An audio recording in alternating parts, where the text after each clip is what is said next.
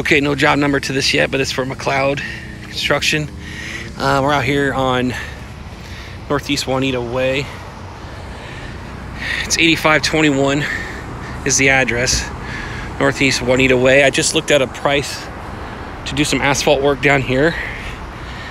Um, so keep in mind, if we get the job to do this trench down there, we'll probably be able to do this patch here as well.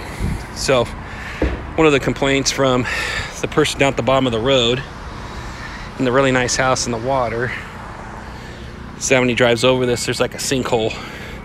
This trench is starting to sink. So really all they want to do is they just want to cut it out, recut it, refill it, and bring it back to the surface. We don't need to go wide or anything. They just want to get it ripped out and then redone so that it's smooth again. Because as you can see, it's starting to dip. Okay. So we got to go one foot all the way across and we'll stop right here. So it's about 28 feet.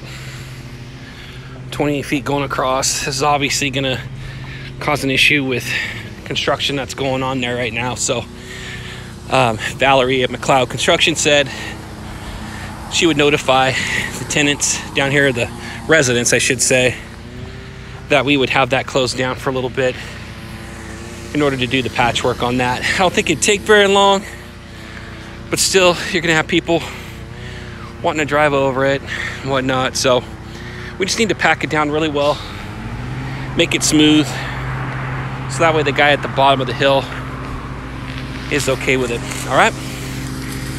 Pretty steep driveway here. So as soon as you come off of Juanita Way, it drops down there pretty steep. There's not a lot of room down there. It's a hot patcher job. So we might not need, might need to use this space right up here where I'm parked to come out and do this job, with the hot patcher. Very minimal equipment needed. And we don't want to bring much out here because there's no room to work.